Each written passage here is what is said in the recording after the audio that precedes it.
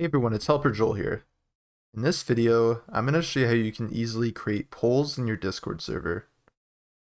The first thing that you're going to do is go to your server. Once you're in your server, you're going to go to the top left and click on the server name. On this drop down menu here, you're going to go down and select App Directory. From here in the search bar, you're going to search for Simple Poll, just like this and then hit enter to search. And as you see here, the first one that comes up is the simple poll bot. So I'm just going to click on this. And then from here on the right, there's the blue add to server option. So I can just select this. Make sure I have the correct server selected and click continue. Scroll to the bottom and authorize all of these.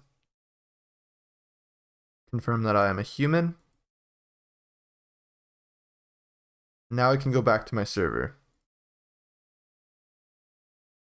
From here, I'm going to go down to the bottom in a text channel and I'm going to go to where I can send messages and I'm going to type slash poll.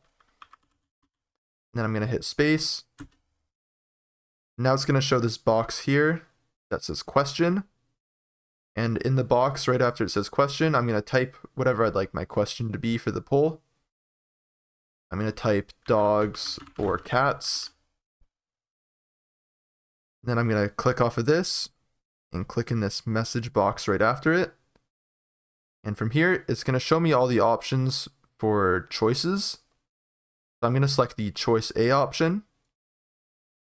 Now it's going to show this new box here that says choice A. And after where it says choice A, I'm going to click on this and I'm going to put a emoji in here that I'd like to use. I'm going to put a dog emoji. I'm going to click off of this and do it again. This time I'm going to select choice B.